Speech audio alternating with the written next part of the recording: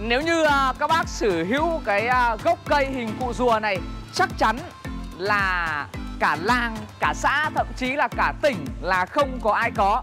Tức là cái sự độc lạ của nó các bác ơi.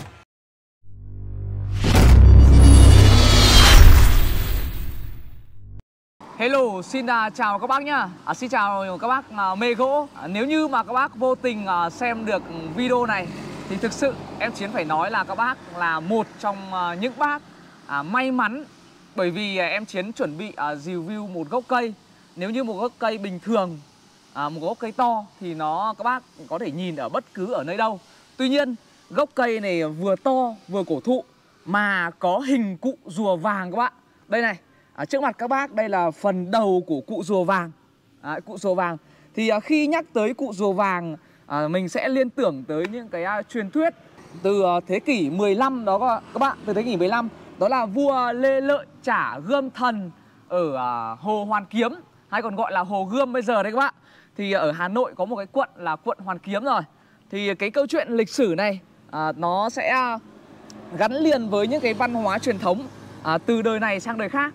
À, Nên là khi mà có hình cụ rùa như này Nó sẽ tạo nên một cái điểm nhấn rất là độc đáo. Giống như là à, một cụ rùa mang lại một cái điều may mắn Một cái điều à, sức mạnh. Một cái điều gì đó truyền thuyết rất là lâu đời rồi các bác nhá. Ok, em Chiến sẽ à, review kỹ hơn để các bác cùng chiêm ngưỡng. Ở gốc cây này. Gốc cây này là dòng gỗ Ecop nhập khẩu từ à, Nam Phi. Đấy, à, nó rất là to. Thì bây giờ em chiến sẽ đo để cho các bác cùng kiểm tra các bác. Chiều dài 3 m 7 các bác. 3 m 7 chiều này thì chính xác ở đây là 2 m 35 chính xác là 2 m 35 và độ dày của nó mình sẽ đo độ dày bên này đi. Độ dày. Độ dày. Đấy. dày là Đấy, chỗ này thấp nhất.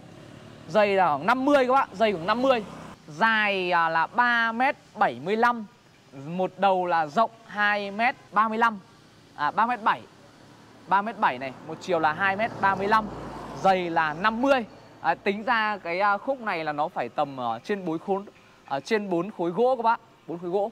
Gốc cây rất là to, rất là độc đáo. Ở xung quanh ở đây các bác này Xung quanh ở đây là những cái phần à, à, lồi lõm Phần à, gồ ghề của gốc cây.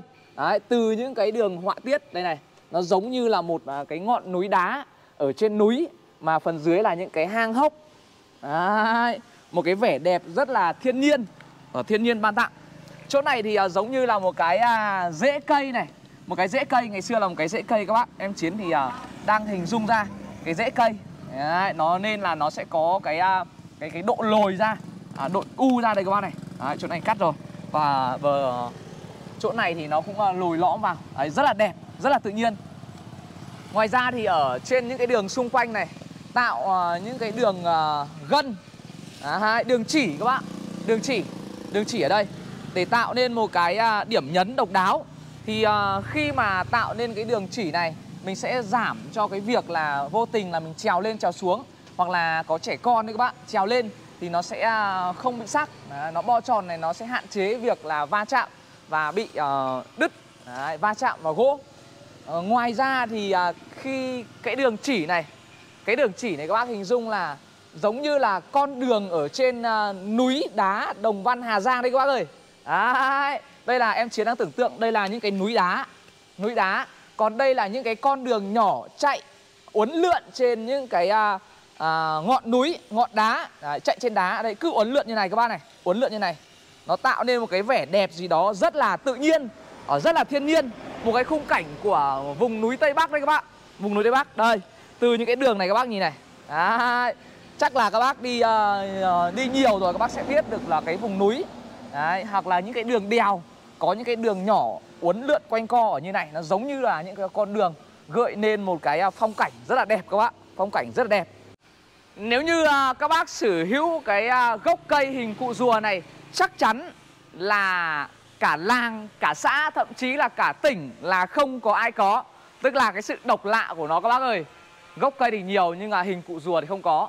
Chắc chắn là ai cũng rất là tò mò. Đấy, Mình sẽ rất là tự hào khi mà được uh, ngồi lên ở đây Được uh, ngồi tiếp khách này Đấy, Được chia sẻ tới những người bạn của mình Thì uh, rất là vui rất là thú vị. Hoặc là khi mà mình được ngồi ở trên này uống nước ấy ngồi nói chuyện cảm giác nó rất là thư giãn rất là tuyệt vời. Với gốc cây hàng trăm năm tuổi này các bác dùng à, sau này có thể à, truyền từ đời này sang đời khác. À, mỗi lần con cháu đến ngồi chơi thì à, sẽ à, nhớ tới ông bà Đấy, ông cha ta đã để lại một cái gốc cây Ờ, rất là độc lạ rất là quý hiếm rồi. Đó là một cái giá trị à, văn hóa à, truyền à, truyền thống. Nó rất là đẹp. Đấy độc đáo các bác nhá. Lưu truyền từ đời này sang đời khác. À. Chắc chắn là gốc cây này sẽ là một cái di sản của các bác để lại truyền từ đời này sang đời khác. Mỗi lần con cháu được uh, quây quần sẽ nhớ tới uh, ông bà nhớ tới uh, tổ tiên của mình đã để lại cái gốc này các bác ạ chỉ còn à, khoảng à, vài năm nữa 5 đến 10 năm nữa thôi sẽ không bao giờ các bác có thể sở hữu một cái gốc cây to như này nữa đâu các bác bởi vì là để có cái gốc cây này cần có thời gian vài trăm năm tuổi mới có thể có được các bác nhé. ở ờ, vị trí ở phần à, chỗ này nó sẽ có những cái đường vân rất là độc đáo các bác ơi. Đây này cái đường vân này này nó như là những cái tia cái tia cái tia cái tia. Đấy, rất là đẹp còn ở trên này là những cái đường vân nó à, đường vân tròn nó chạy quanh cái khúc gỗ này. Đấy, thành cứ từng lớp từng lớp từng lớp. Nó giống như là cái ruộng bậc thang ở vùng núi tây bắc đây các bạn. Rất là đẹp rất là độc đáo rất là thiên nhiên.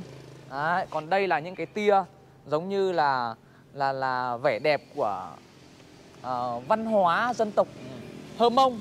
Đấy, những cái bộ quần áo truyền thống có cái à, vẻ đẹp nó rất là sắc nét. Đó. rất độc đáo. Cả bên này nữa các bạn. Ở ờ, phần ờ, chỗ này là phần tim của cái ờ, gốc cây các bác này.